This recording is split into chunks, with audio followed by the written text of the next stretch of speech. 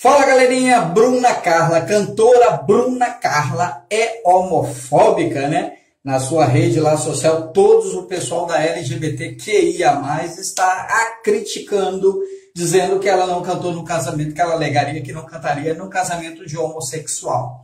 Bem, estão falando que ela é homofóbica, né? Bem, eu não diria essa palavra, eu diria que ela foi covarde, tá? Ela se acovardou ao id de Jesus. Primeiro, pessoal, se você olhar toda a história bíblica, né, o id que Jesus mandou, ele mandou pregar a toda criatura, independente de raça, cor e religião. Jesus ama todos e quer salvar a todos. Então eu acho que não, eu não estou tendo a certeza absoluta, que ninguém sabe de nada. Eu acho que quando Cristo voltar, vai perguntar a ela sobre isso. Por que ela se acovardou? Ela poderia, pessoal, ir naquele casamento e pregar a palavra, tá bom? E de repente ali iria ter uma mudança radical. Ou nem que tivesse 100 convidados, um seria tocado pelo Espírito Santo. Porque Deus, quando veio, Jesus, quando veio ao mundo, pessoal, ele não fez acepção de pessoas, tá? de cor e raça. Ele pregou a todos. E, e outra, pasme os religiosos da época, né? Que mataram Jesus por isso também, que Jesus foi totalmente contra um sistema, uma política religiosa da época.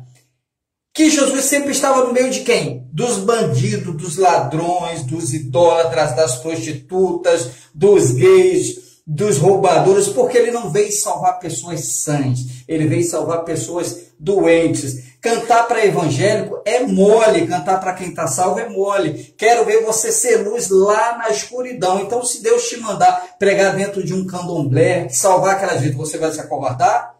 Muitos não vão em hospitais, né, em presídio, pregar com uma pessoa que está lá, né, é, é, com AIDS, HIV, um câncer terminal muito difícil, né? Cantar na igreja para ganhar dinheiro é fácil. Então, o que eu acho da da Bruna Carla é que ela se acovardou em levar a palavra e não e não foi serva, porque Jesus ele quer salvar esses pecadores. De repente, como eu falei, ali tinha alguma coisa para acontecer, tá? Alguma coisa poderia acontecer através da palavra. Deus iria usar ela para aquelas pessoas, porque o transformar, gente, vem de Deus. Canta... Aí se fosse para um católico ela cantaria, se fosse para um evangélico ela cantaria.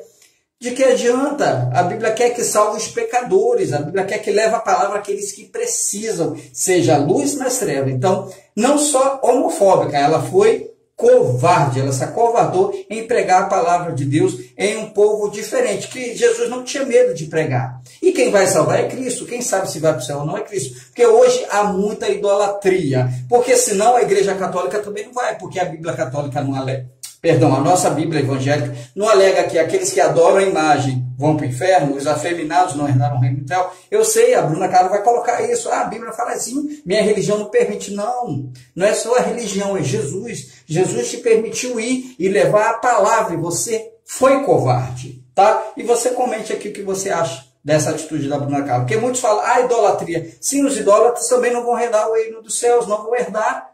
Ué, mas na igreja tem, tem idolatria disfarçada. Tem gente que idolatra demais. Tô, ah, não, ele, ele não me idolatra, ele gosta de mim, é zelo com canto. Não, pessoal, é idolatria. Porque se na chuva, lá no meio da chuva, no temporal, for cantor, não vou falar não, cantores, vai barrotar de gente.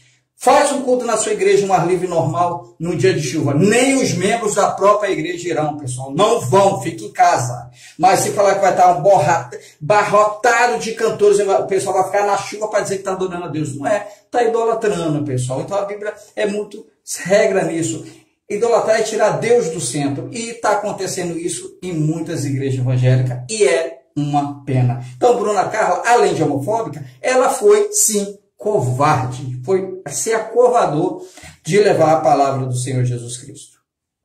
Que às vezes era a oportunidade que Deus estava dando a ela, hein? Perdeu bonito.